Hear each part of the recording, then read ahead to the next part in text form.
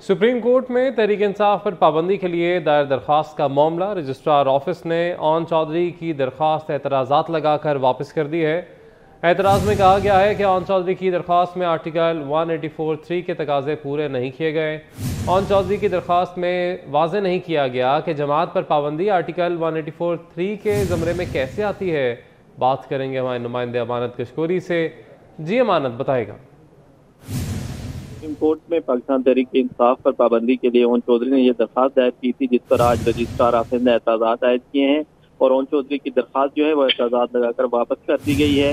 Registrar office की जानब से जो एतराज़ लगाए गए हैं, उनमें ये कहा गया है कि ओन चौधरी ने सुप्रीम कोर्ट आने से कबल किसी दीगर जो मुतल फरम है उससे रजू नहीं किया।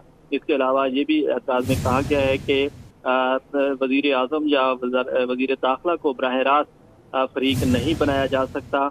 और एतराज़ात में ये भी कहा गया है कि आर्टिकल एक सौ चौरासी तीन के जो तकाजे हैं, वो पूरे नहीं किए गए और ओन चौधरी ने अपनी दरख्वास्त में ये वाजे नहीं किया कि दरख्वास्त जो है, वो कैसे एक आर्टिकल एक सौ चौरासी तीन के जुमरे में आती है। और ये भी कहा गया है कि तरीके इंसाफ पर पाबंदी लगाना मुफाद आमा का मामला कैसे हो सकता है, इस बारे में भी वजाहत नहीं की गई। ठीक है, बहुत शुक्रिया आपने अपडेट किया।